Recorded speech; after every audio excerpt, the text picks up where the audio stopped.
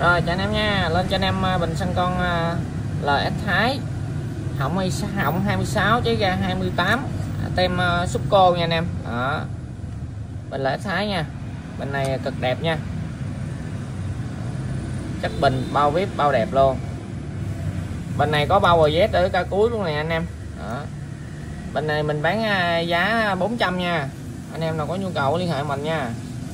0933 996 332 anh em thấy không? Cái bình siêu nét luôn.